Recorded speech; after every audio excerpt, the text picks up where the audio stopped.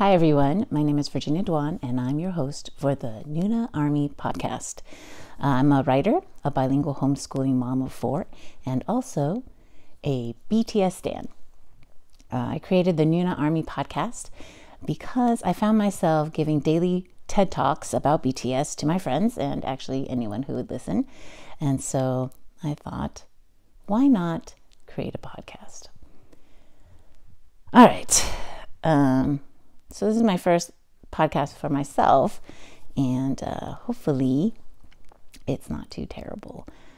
The thing is, I created this podcast because I was really sick of seeing uh, BTS's fandom army being portrayed as these mindless teenagers um, or just these screaming fangirls. And honestly, uh, I don't actually think there's anything wrong with being a screaming fangirl. Um, teenager or otherwise, men don't get criticized for being just as fanatic over sports. Um, I don't see why art is any different. And in this case, art is embodied in seven incredibly pretty human beings. I found BTS about two years ago. Um, and there's Army there's army lore that says you find BTS when you need them. And I think that's totally true. Last year, I was going through um, a mid-year midlife crisis, I guess. I was I turned I was turning 40 and I just I wanted to burn my whole life. Uh, even though I got everything that I thought I wanted. I was married, had four kids, was starting my writing career, um, I just, you know, I thought a lot of things were going for me, I think. And yet I was just so, so unhappy. Um, like just so deeply unhappy. And so, and actually, I was mostly unhappy because I was angry. I was really, really angry at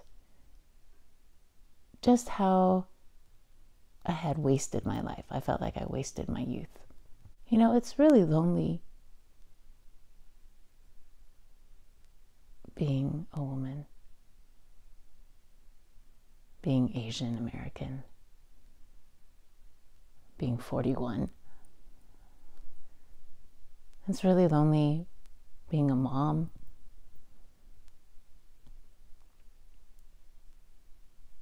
Being a writer.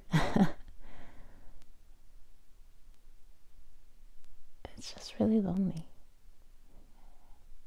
A big part of why I think BTS has struck such a chord in me or means so much to me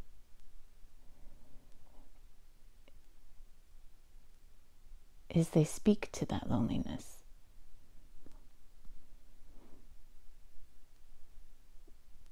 I feel as if they are friends I, I feel as if I'm less alone, that I have companions on this journey of of identity and grief and anger and love not that this is interesting to you, unless if you personally know me and love me, but my word of the year for 2020 is to be bold. And part of that boldness is to talk about the things that I love to talk about. And I love to talk about BTS. It's actually shocking how easily I can turn every single conversation into BTS it, I don't even try, it just happens. Um, and that's because I am always thinking about BTS. So that's why I'm here. Ultimately, this podcast is for me. And if you happen to stumble upon it and enjoy it, I suppose that is all right. I will allow it. I will allow you to listen to me talk about my favorite thing in the entire world. Um, it's part of me feels as if I should be embarrassed uh, because I am 41 years old. I have four children. I'm happily married. I have a good life. Uh, I feel like, yeah, I feel like as if I need to justify uh, my existence. I feel like as if I, as as an older BTS fan, Noona Army, we rise. I feel as if I have to somehow explain to people that I'm a normal person uh, who just happens to really like BTS um, in a totally normal, reasonable amount. But it's totally not true because uh, I am I am totally obsessed with BTS. I I say I love them a normal amount, but I'm I'm not actually sure what a normal amount is. So I feel as if the only possible response is to love them with the unbridled enthusiasm and thirst and joy that I experience. Um, you know how, like, some people gush over their babies? Uh, I have never gushed over my babies, and I had four of them, so I had plenty of practice. Um, but I gush over BTS. so, you know, that's me. And uh, I I just want to tell people that I love BTS because why not? Why why shouldn't I?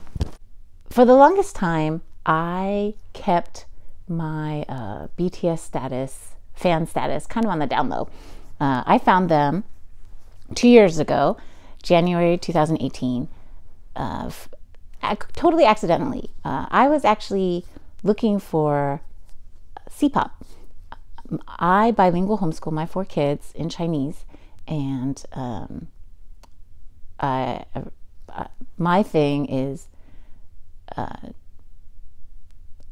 my online alter ego. I have a blog called Mandarin Mama, and I write, I even have a book published about it actually on how to teach my kids Chinese. So part of my thing is to make sure as much of their media as possible is in Chinese. Um, because if it's if it's fun, then you know, then then your kids will naturally gravitate towards them more. This is so much backstory. I'm, I apologize. Um, but I'm actually not sorry because this is my podcast. so, so yeah, I was looking for C-pop, and I searched in YouTube for you know Chinese pop music, and what popped up was EXO. Uh, you know, to this day, I'm not actually sure if you say EXO or EXO. Who knows? Uh, I'll just call it EXO because it seems easier to say and yeah, they they have Mandarin versions of their of their K-pop songs. And I think the first one I found was Overdose. And I was immediately sucked in because A, how can you not? And B, um, how can you not? They were so pretty. They, you know, they were so stylized. They were so cool. They could dance. It was just, it like hit all the marks for me. They were Asian. They were singing in Chinese. They were hot. They could dance. They were hot. They were hot. Uh, and so, yeah, so I like, uh, of course, tried to find more after hit, hitting repeat repeatedly wow, that was terrible. but anyway, you know what I mean. And so, so yeah, so I was very confused because I had never listened to K-pop really before. My only exposure to K-pop prior to that was Psy, uh, Gangnam Style, because you'd have to, you know, be buried under a rock to not have known about Gangnam Style. Even my children knew about Gangnam Style. And uh, yeah, and I was never really into Mandopop or C-pop or any any anything that smacked of the motherland. Um, and we can discuss that later. But yeah, but like yeah, I was never really that interested in. I, I knew the names kind of, but I didn't really know them. And so because of my children, uh, and for science, I um, yeah I try I found every single possible Mandarin version of EXO songs. Um, which there's like three, maybe four. I don't know. There used to be EXO-M, right? And uh, I found it very confusing and I was very bewildered. But because YouTube has, you know, their mind reading algorithms, you know, I suggested NCT and GOT7 and BTS. And I, like the idiot I was, or the idiot is too strong of a word because I was just ignorant. I just didn't know. Uh, I thought that every K pop band had Mandarin versions of their songs because it seemed that they also had Japanese versions, so why wouldn't they have Mandarin versions? And it makes sense because China is a very big market. And I'm also Chinese American or Taiwanese, Chinese Taiwanese American. And um, and being an American, I'm kind of self centered. I feel like everything is oriented around us. Of course, everything should be in English. Of course, everything should be in Chinese. I mean, because aren't we the most, aren't these the two most dominant languages on earth? Um, little did I know that now I'm like, no, why can't, why couldn't I have been Korean? this would be so much easier if I was Korean. Ah, the jealousy, jealousy on multiple fronts, but we can talk about that later. Um, yeah, so I, I was, I got sucked in thanks to the YouTube algorithm, and I found BTS's songs, and I thought they were fine. Uh, I wasn't particularly, I, I thought they were fine, um, and yeah, so that's how I discovered BTS, and um, it's uh, and, I, I think I even mentioned it a few times on Facebook. I was like, hey, you know, oh, cool, I found this song, everyone, sh- uh, EXO song. I found, oh, oh yeah, all these things about K-pop, and I just started dabbling, and probably because there's so many army and so many fans that I just got kind of sucked in. I don't know, I, you know, I watched reaction videos. I started watching their dance practice videos. Um, this was during the Her era because I think one of the the two mo the two newest videos I saw of BTS were Mic Drop Remix, a banger, of course, and DNA, which I hated. I hated DNA. Uh, I thought they looked weird. I and I, I just I couldn't get into it and it was so bright. It was just too many colors. So I was actually more into EXO and GOT7 and NCT. I didn't, yeah, that, like to me, it, I was not a stan of anything. Uh, I just, I just like music and I like pretty people who can dance. Yeah, so I kept it on the down low for a really long time. I tried to keep BTS and my like swift and unrelenting fall down the rabbit hole. I tried to keep that as, you know, chill as possible on all my social media. I I stalked Reddit. I never commented. I, ne- I didn't even have an account. And then, yeah, so a good nine months of me just just checking things out. And I was totally in denial. Um, But I, I loved them. I loved BTS. Everything. Yeah, they just consumed all my waking hours. I I was very chronological about it. I went through all their Run BTS episodes. Um,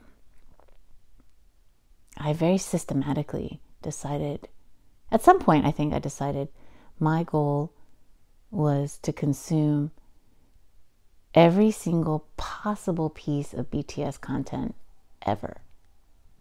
So, whether it was a tweet, you know, a video, a, a Bangtan Bomb, a BTS episode, uh, whatever it was, I was determined to consume it. Spoiler alert, I have not been able to do so uh, because how they just create too much. There's just too much information. There's just too much stuff, um, and and I uh, I dig it. I really dig it. And so now, now I yeah, there's just too much stuff. You know what? Somewhere along the way, even as recently as a few months ago or a few weeks ago, I decided that I'm not going to keep BTS on the down low anymore. I already talked about it all the time in real life with people. Um, and so I think I just stopped caring. I stopped trying to justify or explain myself. Um, because this is this is who I am. I I mean, I'm not only BTS because that that would be sad. But but also because I feel like life would not be richer if it was only BTS. Gradually, I stopped caring about what other people thought about my uh, I mean, there is no other word for it, obsession over BTS. Uh, I was ashamed because I don't really feel shame about this. It was just more that I felt as if other people shouldn't be subject subjected to I didn't want to be the BTS person. You know how there's like Star Wars people or you know Harry Potter people and it seems like that's all they talk about I don't want to be that person. Oh, no, no, no. Even better example. Like the, the people who only talk about their children, right? Like you ask them how they're doing and they only talk about their kids. You ask them what they like, they only talk about their kids. Like everything is about their kids. Uh, and that's okay, I think. Um, because if that's what they really love and care about, then that they should talk about it. But I, I think because of being a mom and being Asian American mom at that, I, I didn't I didn't want I'm not quite sure what I'm trying to say. If you're a mom and that's all you talk about and that's your kids, I don't want to shame you. Uh, but I think it just makes me wonder or I feel a little sad that there isn't anything else going on for you um, as a, for them as a person, right? Like when I asked about how they were doing, they talk about their kids, but how are they doing?